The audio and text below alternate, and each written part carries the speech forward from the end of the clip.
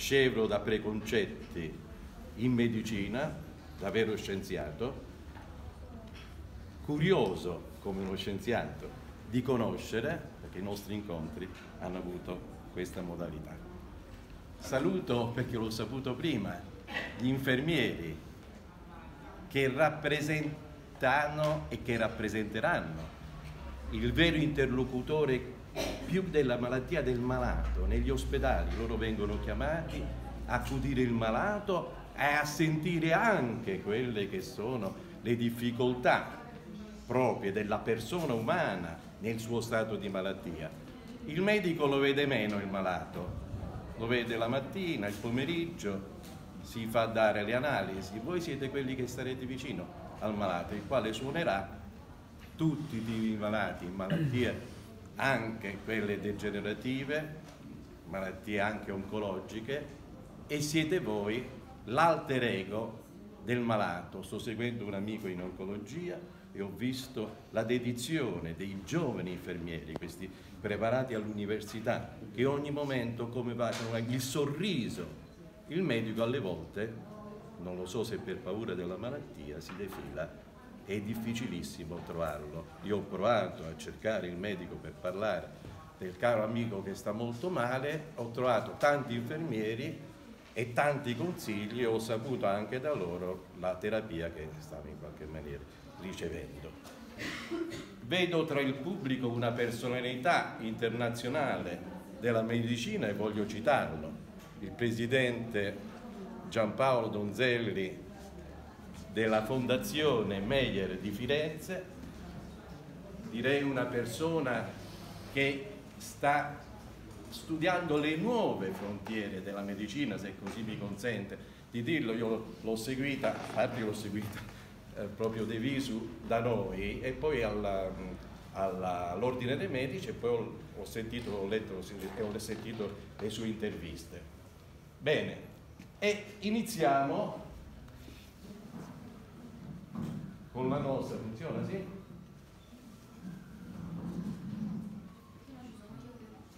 Ok, va bene. E iniziamo col soggetto, col tema della nostra chiacchierata di oggi.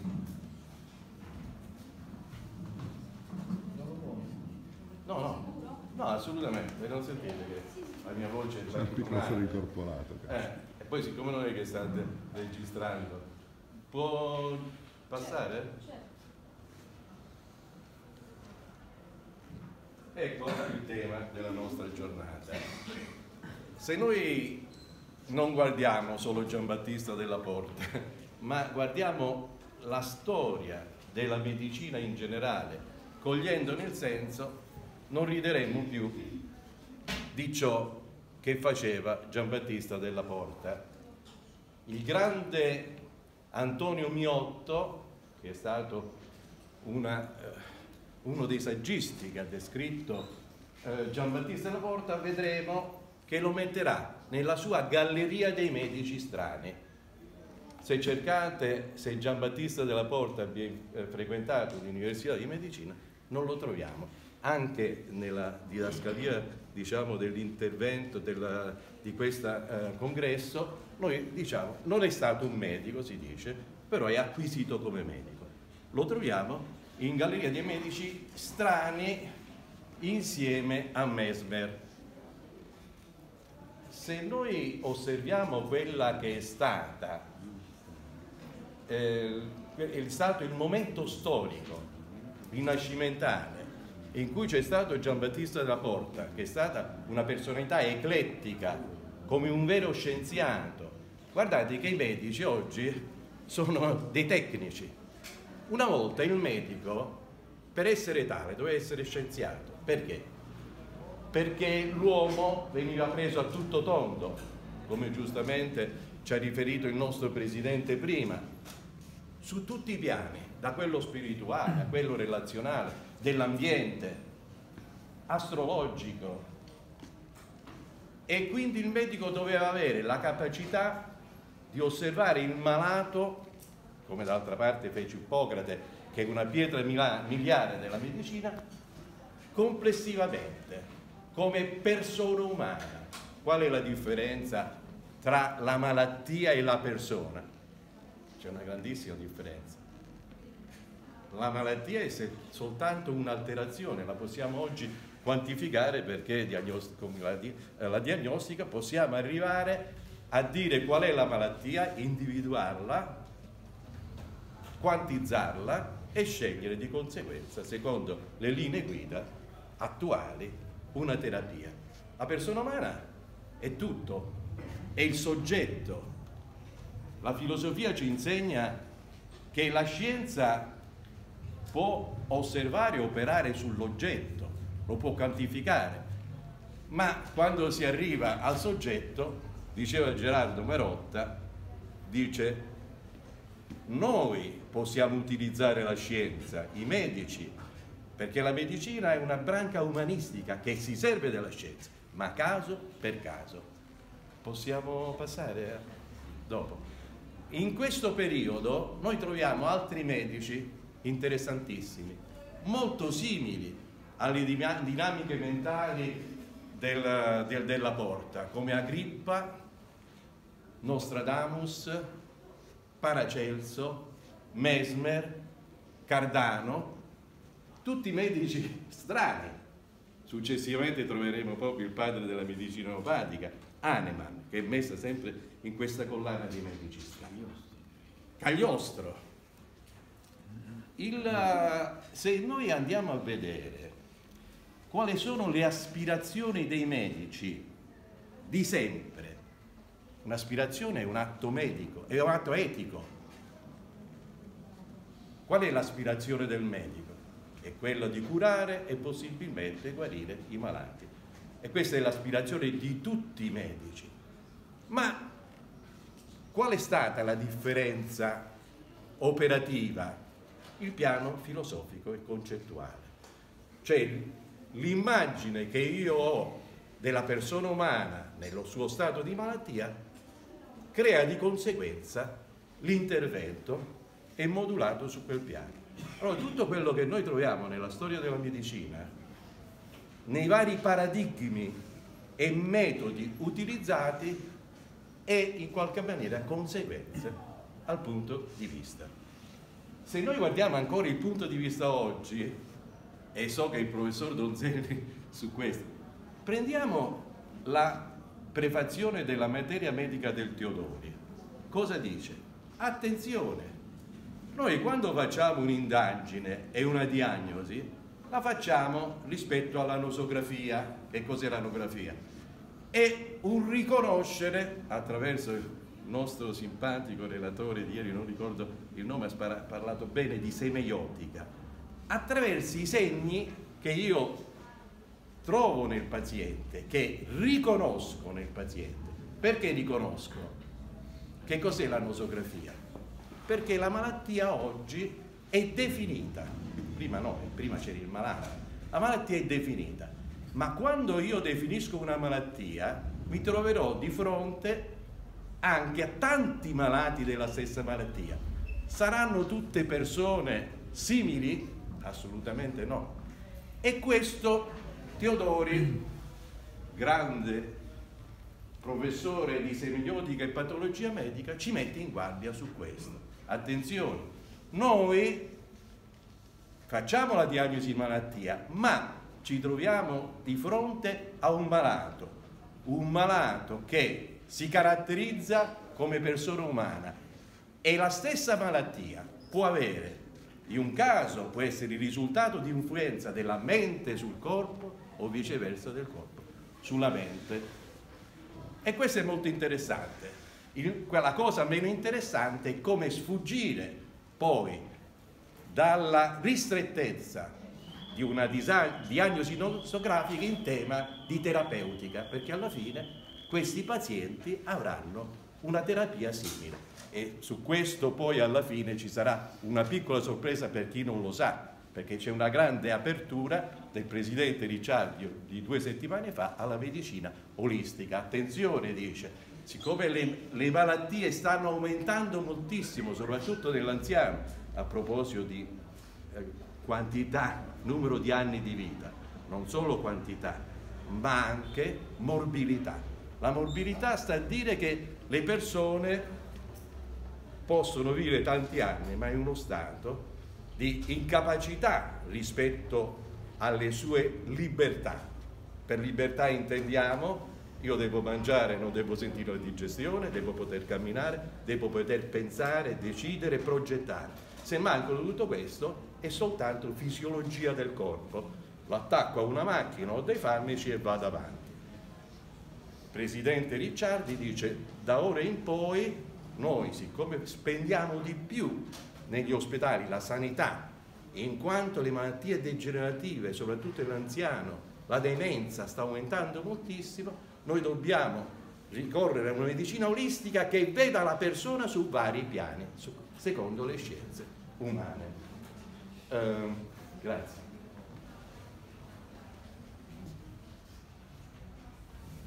Ma se noi andiamo, non la, lo voglio prendere tanto alla larga, poi controllo i tempi, ma se noi andiamo ai ricordi iniziali della medicina, a questo Dio medico tutto esculatio,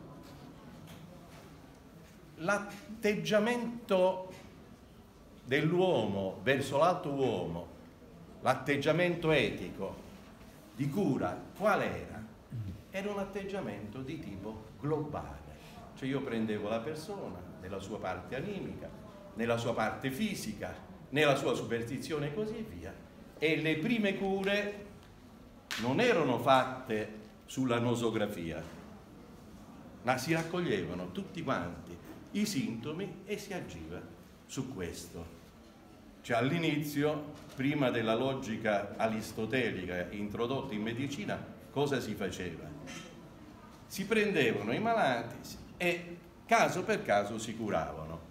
Era difficile fare questo perché ogni volta io dovevo interpretare un esperimento poi invece io ho raccolto di tutte le mie esperienze soltanto ciò che era ripetibile, ovvero i sintomi comuni, quelli della malattia, e non i sintomi individuali, quelli del malato. Ma all'epoca era tutto insieme.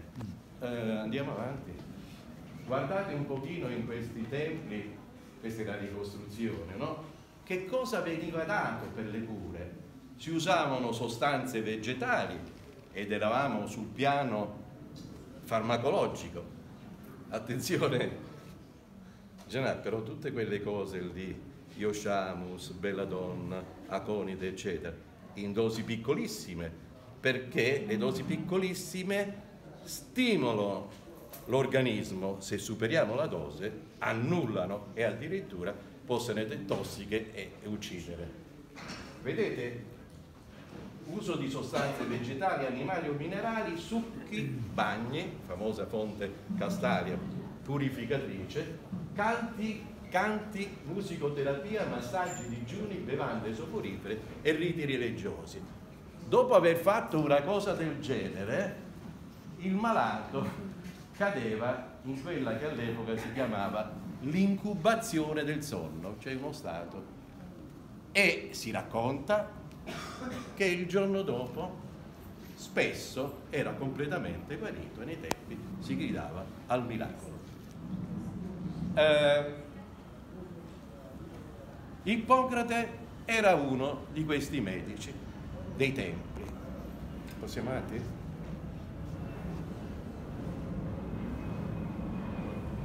avanti? ancora avanti, questa è l'incubazione del sonno.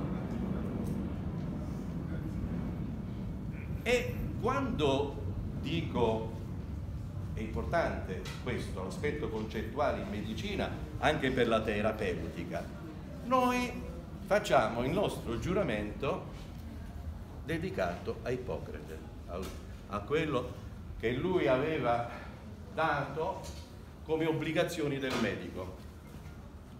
Però il, la visione dell'ammalato è una visione, attenzione, vitalistica, perché all'epoca non c'era la teoria cellulare, non si conosceva la cellula, gli organi, eccetera, anatomia, non se ne parlava. E quindi l'osservazione portava a una visione vitalistica, ovvero a una autonomia quella che noi chiamiamo omeostasi, ha la capacità dell'organismo di recuperare la salute. Vedete che cosa diceva? Il primo comandamento della terapia è di non nuocere all'ammalato. Da questo comandamento deriva il secondo, non combattere l'opera della natura. Significa che se io, in qualche maniera lo vedremo, lo dirà Sydenham, 1600, dirà attenzione, guardate, che era l'Ippocrate inglese dell'epoca, attenzione, guardate che se io do dei farmaci, blocco quella che può essere la reazione dell'organismo. Allora, in questa modalità concettuale di malattia, è chiaro che se io devo recuperare ciò che era perso, no? il rimedio, direbbe l'amico negro, significa rimediare, rimettere in media. Che cosa bisogna rimettere in media? L'incapacità dell'organismo di mantenere il proprio equilibrio. Eh, dove sta questo farmaco? Che mantiene... No, il farmaco agisce sul, sul sintomo. E come agisce sul sintomo? Alle volte in maniera derivativa, all'epoca, poi vedremo se c'è il tempo, parliamo, i metodi erano quello derivativo, quando si parlava dei, dei farmici, erbe, eccetera, estratti, era il metodo derivativo, cioè voglio somigliare alla natura e ti do il diaforetico per sudare, ti do, eh, come si chiama, il eh, cardiotonico, ti do questo e quest'altro, ti do il lassativo, c'era anche, si facevano i salassi per rimettere, c'erano alcune erbe come scilla, che è una lineancia che attivava il flusso mestruale, no? perché molte di queste streghe erano, saliva la pressione e poi lo vedremo proprio in della porta. Ma quando io dico che il potere di guarigione dell'organismo sta nell'organismo, devo sollecitare a quel punto l'organismo. E come lo devo sollecitare? Casualmente? No, sicuramente con quid che l'organismo stesso riconosca, al quale quindi è sensibile, quindi lo devo scegliere bene, e recupera da solo la salute. E questo quid non è più un farmaco, ma è qualcosa, ecco perché poi si parla di, di spagirica e di altro, cioè si parte dal concetto, e lo vedremo in Ippocrate, specialmente quando lui parla nel trattato delle epidemie, si vede che lui comprende che la natura umana è il risultato di tanti tipi di influenze su più piani. Tanto è vero che descrive che alcune epidemie potevano avvenire nello stesso posto, se tu ti spostavi non succedeva niente. E come curare? Come curare nelle epidemie? Tu l'hai citato. Io curo con l'elleboro bianco, Veratum Magnum, eh, il colera, perché dice Ippocrate, pur esso eccita nel sano, se uno si avvelena, sintomi simili al colera. Ma allora questo è un farmaco, distruggeva i batteri, distruggeva i vibrioni? Assolutamente no. Stimolava l'organismo artificialmente su un piano simile a quello della sua malattia, tant'è vero che lui usava sia il principio di similitudine che quello dei contrari e diceva si debbono usare con parsimonia comunque, vengono dati i farmaci con parsimonia. Il telecomando probabilmente non è suono.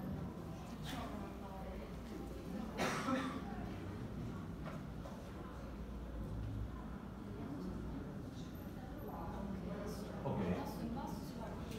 Quindi tutto l'aspetto alchemico non è una cosa che si è persa perché... No, perché oggi con una medicina, tra virgolette, scientifica, basata sulla chimica, per forza deve essere basata sulla chimica, non su altre cose. Perché io, per riattivare un organo o per togliere dei sintomi, deve avere dei siti. Devo saper riconoscere, devo sapere usare i farmaci. Là no, eravamo su quel concetto della unità del cosmo e che in natura, quello che poi disse Anima, sicuramente io posso trovare l'analogo. Tanto è vero che nella preparazione omeopatica, che un pochino è una preparazione... Che cosa fa lui? Prende sostanze, le contrariamente a quello che pensate, non sono diluite e basta. Prima di tutto le prende secondo il principio di similitudine. Guardate, qui ci stanno eh, degli esempi di guarigione, delle statistiche dell'angolo, perché il nostro presidente ha fatto un angolo della medicina omeopatica, dove ci sono delle statistiche di guarigione del colera, dove si moriva al 50% con la medicina omeopatica, soltanto il 3-4% in qualche caso, eh, Rocco Rubini curava tutti quanti i suoi malati, ma come li curava? Con delle iniezioni ultramolecolari? Assolutamente no. La canfora rubini era una soluzione satura fatta a metà di canfora e a metà di alcol puro, quindi gli dava della sostanza. Però perché agiva? Non agiva ammazzando il brione del colera, ma agiva perché se io assumevo questa canfora rubini mi provocava sintomi simili all'inizio del colera che significa quei sintomi del, del colera iniziale, infatti se io non lo prendevo all'inizio, il paziente poi poteva morire, oppure dovevo scegliere un altro rimedio che somigliasse ai sintomi successivi. Quando io arrivo a Dioscoride, eh, Dioscoride, noi vediamo che parliamo di materia medica di Dioscoride. Che succede con Dioscoride? Succede che Dioscoride comincia a selezionare i farmaci veri e propri e perde quella che è in qualche maniera la visione ippocratica, in che senso? Anche se Dioscoride è ippocratico, Galeno è ippocratico, sono tutti ippocratici, non è vero. Perché la perde? Perché lui comincia già a parlare di malattia circoscritta, di diagnosi. Tant'è vero, posso andare avanti?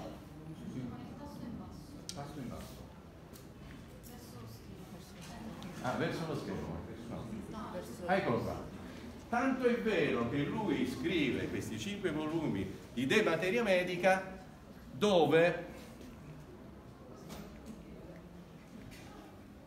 vedete, parla di spezie, unguenti e materia animale, varie specie di ortaggi, erbe, radici, infine vini e minerali. L'unica cosa di particolare mette questa distillazione e dice io con la distillazione imito la funzione del sole, però è l'unica cosa. Per il resto tutti questi farmaci che lui descrive, e chiamiamoli farmaci, hanno un rapporto più univoco con la malattia che vanno a curare.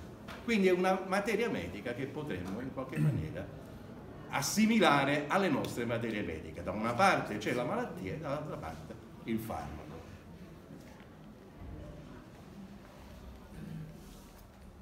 Eh? Chi ricordiamo anche come grande medico? Attenzione ragazzi, io sto facendo questa carrellata con una finalità, non per farvi tanti vedere pezzi staccati, per far vedere il pensiero in medicina e la corrispondenza rispetto al pensiero del tipo di terapia. Perché altrimenti a noi, alla luce delle nostre conoscenze, alcune cose ci sembrano assurde, ma come questi facevano questo? Gli facevano le fricazze, i massaggi, facevano, eh, come si chiama, eh, facevano i bagni, i canti, eccetera. Ma tutto questo dipendeva dal momento culturale, come ci ha detto anche il professore, soprattutto l'aspetto religioso, che ha pregnato moltissimo il passato. Oggi noi siamo molto più laici, anche perché siamo in una cultura positivistica, quindi è una cultura completamente laica. In passato invece ciò che dominava Esculapio era considerato un dio, cioè era un atteggiamento completamente di, eh, differente. Galeno in tutto questo cosa c'entra? Galeno è stato un grande anatomista, eh, Galeno ha permesso di fare le prime dissezioni, in passato era vietato, si faceva di nascosto sugli animali eccetera e quello che è molto caratteristico in Galeno come grande medico è la conoscenza della, dei fasci nervosi, tant'è vero che lui è stato, ci sono nei, nei libri eh, di Galeno, tantissime guarigioni su questo piano nei traumatismi dei militari a Roma. Perché lui conosceva perfettamente le terminazioni nervose e quindi riusciva a recuperare malati che avevano ricevuto traumi nei centri nell'ordine. Vedete, queste sono delle fasciature, queste sono, era un collega tu in pratica, Galeno, vedi, queste sono delle fasciature del E andiamo alla medicina della notte medievale, che è molto simile a voi. Perché? Perché è una medicina basata sugli infermieri, sui monaci, i quali avevano una grandissima conoscenza. Vedete? Ad opera di Benedetto di Norcia, chi conosce il monastero di Monte Cassino? Nessuno conosce il monastero di Monte Cassino? Eh. E lui, eh? Prima della distruzione degli americani o dopo? Dopo non può essere. Non Do- dopo non può essere, ma adesso si può visitare. Ha fondato, vedete, le prime infermerie, noi sappiamo che le, le preparazioni dei monaci hanno, sono molto caratteristiche, hanno in sé molti non segreti, ma noi potremmo ritornare in qualche maniera alle loro, diciamo, tipo, il loro tipo di terapia che in qualche maniera, attenzione, erano eh, delle terapie che dovevano somigliare all'opera della natura. Quindi, quando uno aveva una certa sintomologia, loro davano, come abbiamo detto prima, una certa eh, infuso o altra sostanza di solido vegetale, vedete, loro coltivavano piante, foglie, radici, i, medi- i- i monaci infirmari, da cui l'infermiere, no? Infirmari, e sostituendo la natura nelle sue attività, ma tutto questo era, è ben lontano dalla concezione di malato ippocratico, perché nessuno coglie e prende insieme il malato. La medicina diventa laica, tu l'hai spesso citata, no? con il regime Sanitas Salernitarum e così via. L'influenza dei medici arabi nel Medioevo fu importantissima, con Avicenna. Avicenna si dice che addirittura curasse con lo sguardo. In qualche maniera, eh, vedete, divenne leggendaria l'abilità di curare senza medicine con la psicoterapia. E lui spiritualmente era un grande devoto. Vedete sotto, ci sono un passaggio della sua, eh, de- della sua preghiera. Tenete presente che qualche medico ha riferito che alle volte, Mesmer, la forza della parola pura, di una persona pura, poteva avere un effetto terapeutico. Illumino, o Signore, il mio intelletto affinché veda giustamente le cose presenti e intuisca esattamente quelle assenti e nascoste. Vabbè, qui poi entrano le pietre preziose. Come possiamo considerare, lo chiedo anche a voi, la terapia effettuata con le pietre preziose, qual è il piano? Farmacologico? No. Posso dire vibratorio? Prego? Quindi vibratorio. E loro per poterla fare agire o l'applicavano direttamente sulla parte malata o su una parte del corpo o addirittura la mettevano in acqua la esponevano al sole. A quale sole? Al tramonto all'alba, in modo che si impregnasse maggiormente l'acqua dell'energia del minerale e per conservare questa, non lo so come chiamarlo, ci aggiungevano dell'alcol in modo che lo sta... Eh? Sì, cioè praticamente lasciavano come se lasciassero un ricordo all'interno. Va bene. Eh, questo faceva parte dei, anche qui sicuramente la mattina il medico all'epoca, quali erano le cose più importanti da dover osservare? Stercus et urina su medicorum prandia prima, cioè la mattina veniva il medico, odorava, sentiva perché riusciva a fare diagnosi di malattia, di alterazione attraverso le osservazioni dei liquidi organici. Ah, questo è molto interessante. Eh, guardate un pochino dal punto di vista terapeutico, dal punto di vista igienico, quello che indicava il medico al malato o come prevenzione per non ammalarsi. Vedete il, il movimento, il riposo, l'esercizio, l'equitazione, la caccia, eccetera, eccetera, tutte queste attività che potevano mantenere l'equilibrio de, dell'organismo. E questo è il libro di Miotto, uno della collana che io per caso mi trovo a casa, perché mio suocero che era chirurgo oncologo gli avevano dato tutti questi libri qui, è del 50, della Vissere, sono del 50. E quello che è interessante è che quando arriviamo nel Rinascimento comincia a emergere che cosa? La medicina razionale. Oggi la medicina, anche se apparentemente non lo sapete, è matematica, è un modello matematico di riferimento. Guardate, io per fare diagnosi ho bisogno delle analisi, ho bisogno delle diagnostiche. Poi fatta la diagnosi, che però in qualche maniera è ristretta alla patologia, poi devo scegliere la terapia. Quale sarà la terapia? Quella che le linee guida di quel momento storico mi indicano.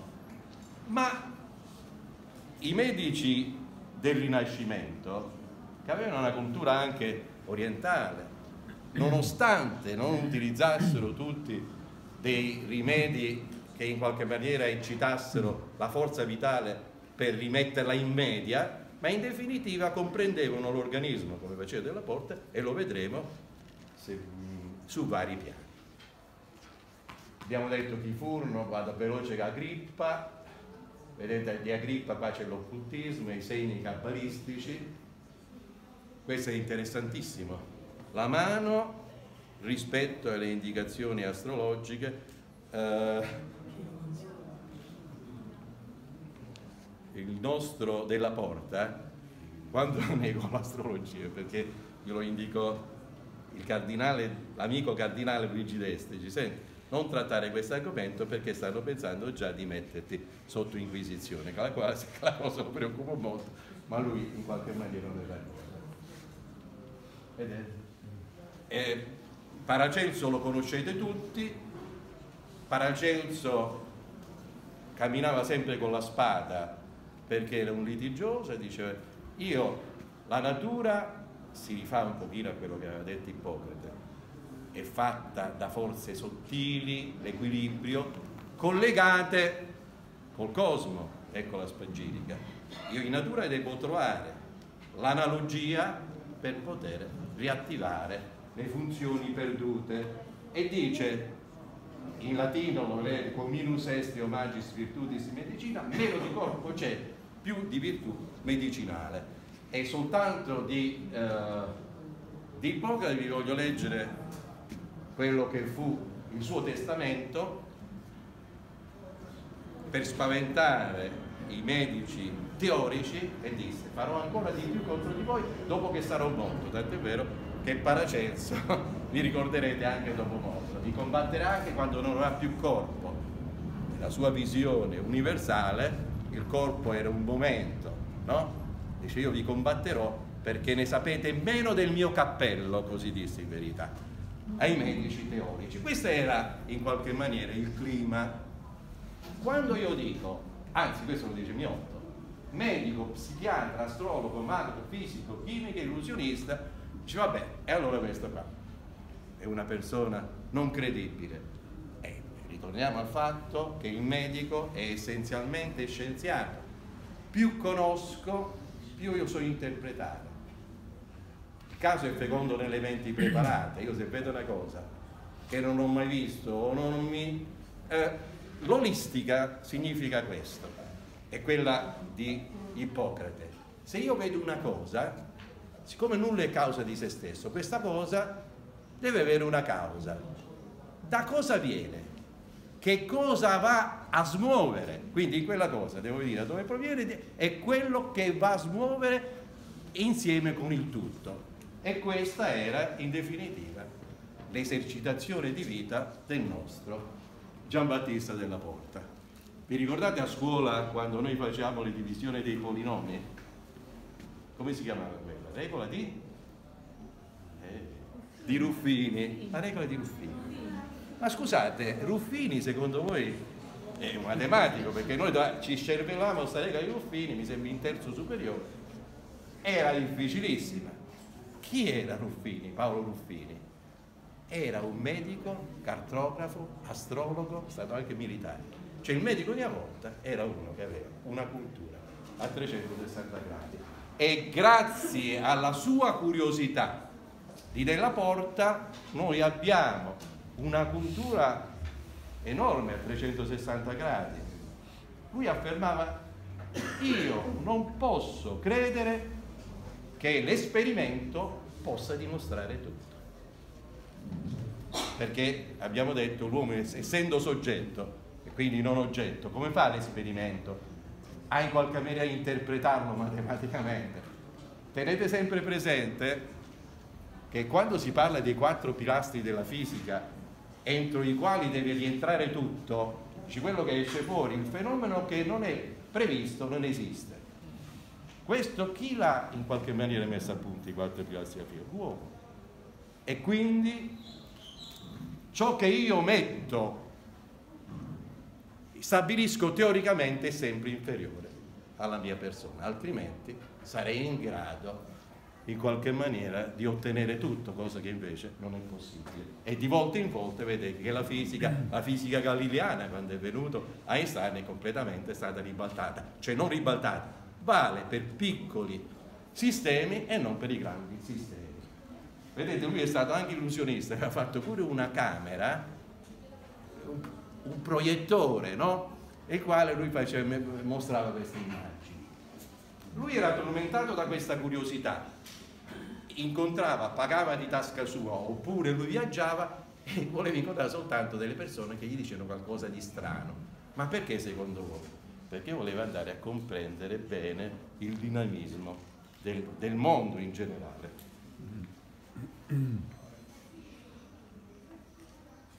Um, voglio leggere soltanto questo piccolo passaggio. Visitai biblioteche, uomini, dotti e artigiani, da tutti chiedendo informazioni se nulla di nuovo o di curioso per avventura, avessero per avventura scoperto. E quelli che non potei avvicinare sollecitai con frequenti lettere, non tralasciando né preghiere né doni né industria alcuna. E questo è il nostro ricercatore. Io adesso, siccome molte cose sono state già dette egregiamente anche ieri, no? aveva parlato anche delle cose delle streghe lì e tutto, eh, questo è lo specchio storio, il cardinale d'Este, chissà per quale finalità, e anche Rodolfo d'Asburgo sollecitavano continuamente, andavano a trovare per ottenere questa famosa pietra filosofale, no? chissà con quali obiettivi. Eh, guardate queste osservazioni di Della Porta che fanno vedere un mondo unitario. E cosa scrive? Dice io osservai che in natura le cose si accettano o si rifiutano, poi oramai le scienze naturali vanno spiegate, in un certo terreno trovate soltanto un certo tipo di terreno trovate delle piante e delle piante che tra di loro sono in qualche maniera stabiliscono un contatto fisiologico di scambio. Quella fotografia lì, così per curiosità, io sono micologo, l'ho fatta io quella della manita muscaria, no? sta sempre vicino al cardo, l'ho fatta a 1500 metri, poi trovate un cardo da lontano, facilmente c'è la manita muscaria. Questo dice che le cose non sono messe a caso nell'universo, ma si scelgono. Vedete qui eh, i rimedi contro l'iettatura, i minerali, eccetera. Vado avanti perché invece dal punto di vista medico può essere interessante l'aspetto costituzionalistico che già in qualche maniera ieri aveva fatto vedere il professore che ha parlato. Sempre qui ci sta un animale, si chiama Icneomone, e dice lui, dice, guardate, tenete presente che questa fu commentata con grande entusiasmo da Kant, la fisionomonia di, di, della porta, e fa vedere come, diceva il mio professore di, di scienze, che era il famoso Azan, Lambertini Testai Azan, il libro di, di anatomia, diceva che la visione era l'immagine plastica della funzione, come d'altra parte. Vedete lo sguardo di questo animale cattivo, con la pupilla piccola, indica proprio, ti dà paura in qualche maniera. Io ho provato a fotografare, prendere dai due occhi uno in miosi e uno in midriasi con la pupilla larga e vedete la differenza, è molto più accattivante la pupilla larga e le donne nel Rinascimento mettevano l'atropa bella donna per sembrare più belle, più accattivanti, più buone. Eh, chi usò questa tecnica della fisionomica? Eh, addirittura Walt Disney. Se voi vedete i personaggi di Walt Disney, quello cattivo, la strega, ha la pupilla in miosi, no? Quando noi vediamo invece la pupilla larga, aperta, in qualche maniera eh, abbiamo un contatto più facilitato. Non parlo adesso de, dei nasi e così via. Questa è la famosa... Eh, allora, io poi finisco, voglio far vedere come eh, Della Porta approccia il malato. Interessantissimo. Questi sono i 2000 segreti medici, vabbè questo è il costituzionalismo, ieri l'abbiamo visto, no? Quello lì che poi ritroviamo nel Pende, in Nicola Pende, vediamo il mesoblastico brevilineo che è più forte dell'ectoblastico, anche psicologicamente l'ectoblastico è languido, debole, tutti gli ectoblastici sono deboli, timidi, infelici. C'è qualcuno alto, magro? No. Ma non è vero che è così perché Nicola Pende aggiunge esiste l'ectoblastico, uh, questo atrabiliare stanco, ma esiste anche l'ectoblastico in perfetto equilibrio. Quindi esiste quello astenico e quello stenico, quindi non necessariamente lui avere conosciuto tutti gli ectoblastici astenici. Vedete anche la posizione del feto nella donna in gravidanza, lui parla che si posiziona in una certa maniera se è maschio, questo è era nella cultura lo conosciamo. Questa è la famosa foto del malinconico. E allora quello che è interessante è che quando lui parla di una patologia, questo mi ha colpito molto come medico in Della Porta, quando lui parla di una patologia, poi non risulta un'unica terapia, ma risultano vari tipi di interventi a secondo di quello che è stato il motivo della terapia. Prima di tutto, quali sono eh, i malinconici, qual è il motivo della malinconia?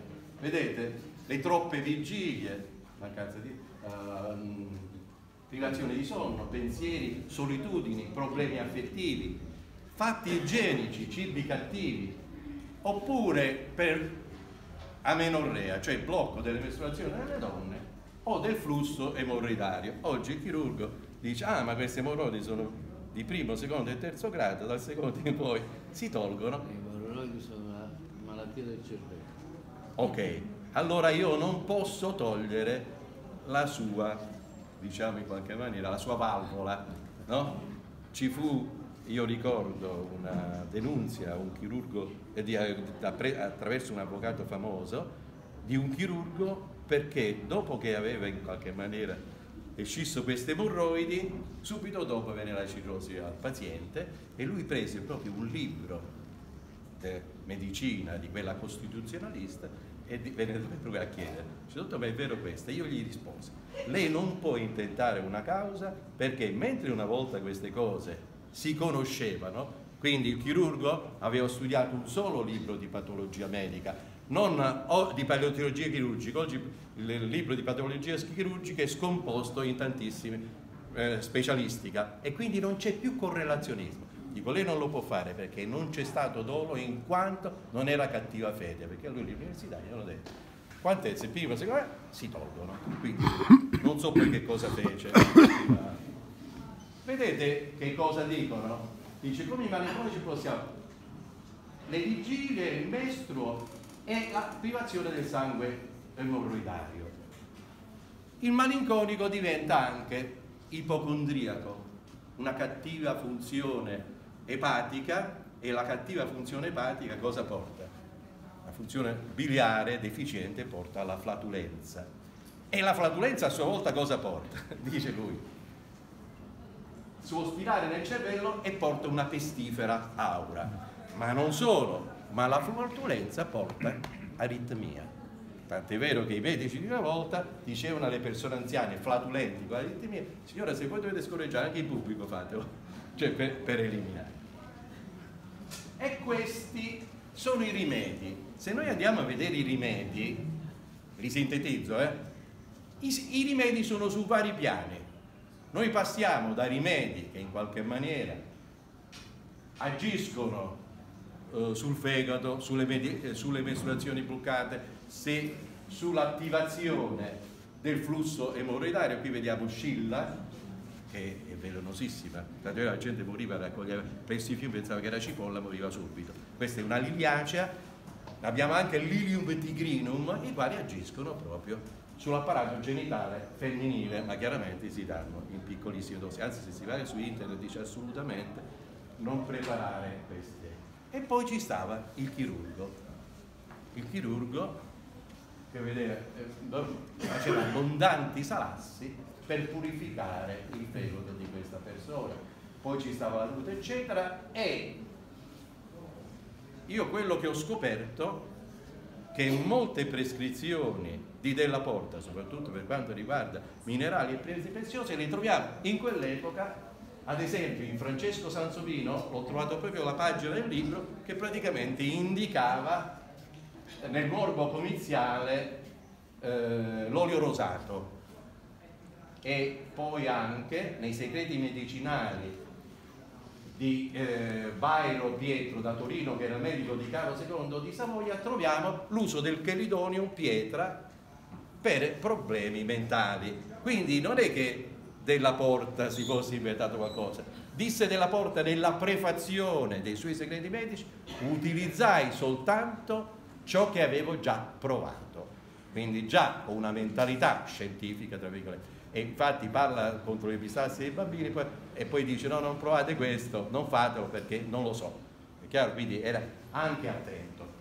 Eh, termino oh, questa relazione eh, con quello che eh, vi faccio leggere, vabbè le streghe, un, soltanto velocemente, le streghe, lui rischiò moltissimo perché lui stava con un gruppo di medici che non credevano che le streghe fossero tali, fossero indemoniate e questo contro ciò che diceva la Chiesa, fu, fu avvertito che lui poteva essere sotto in qualche maniera eh, inchiesta dalla, dalla sacra eh, come si chiama? Inquisizione. Inquisizione e quindi però portò avanti comunque l'idea, e lo dice, che le streghe erano delle malate e indicava anche, come il licanto fosse un malato, indicava anche come poterlo guarire. Vedete oh, l'ultima slide, questa è di Sydenham, che è un medico famosissimo, un conferenziere inglese, che dice la malattia non è altro che un tentativo da parte del corpo di librarsi la materia morbosa e richiama tutti alla visione ippocratica della malattia. Lui è famoso per la corea, e per quanto riguarda la scarlattina curava il 50% i malati non erano moltissimi, lui curava il 50%. Eh, dal quotidiano Sanità scopriamo questo. È una cosa molto interessante la scorsa settimana. Che cosa dice? Che adesso per omologare un farmaco non solo bisogna provarlo sulla malattia, ma bisogna avere notizie del paziente su come vi è consenso umano la visualizzazione accurata dell'esperienza diretta del paziente può completare le valutazioni di efficacia e sicurezza. Quindi anche il paziente deve essere incluso per quanto riguarda l'omologazione del farmaco. Mi è capitato una persona che tra l'altro è un collega che ha preso un farmaco antiaritmico per due o tre mesi, aveva febbricola, stanchezza, medico di base non riusciva ad andare a far visite, ha girato un po' da tutte le parti, poi un medico gli ha detto, ha detto ma tu hai tutti questi sintomi? Guarda, questo è il farmaco antiarittico che stai pigliando, ma come tenga la febbre, ogni pomeriggio toglierlo tra 15 giorni ti passerà tutto. Beh, quel farmaco per esempio, se in qualche maniera si farà questa indagine come dice il quotidiano della sanità, quindi quel farmaco sicuramente avrà un grado di tolleranza minimo, non perché non guariva la malattia, ma perché in qualche maniera aggravava il paziente. E questo è quello che vi dicevo del quotidiano sanità, eh, scusate, no, questa è la frontiera medicina olistica, il, il presidente Ricciardi parla finalmente che in futuro la sanità dovrà spendere i soldi per affiancare al malato questi malati mh, di malattie degenerative che stanno crescendo in maniera esponenziale, quindi abbiamo un, la vita si è allungata ma un grado di morbilità, di stato di sofferenza enorme e quindi lui parla di una medicina olistica integrata dove la persona umana venga affiancata e venga aiutata da varie figure sanitarie. E io, se mi consenti, Gennaro, volevo un ricordo. Um, pochi giorni fa è finita la nostra presidentessa, la dottor, dottoressa Alma Rodriguez, che ha formato migliaia di medici in Italia e all'estero e che aveva scelto Napoli come sede per aprire l'istituto perché rappresentava il Napoli il crocevia mondiale della medicina epatica e portò qui il professore Negro, papà di Antonio Negro, professor Paschero e il professor Ortega per formare questa scuola. Grazie dell'attenzione, scusate la mia.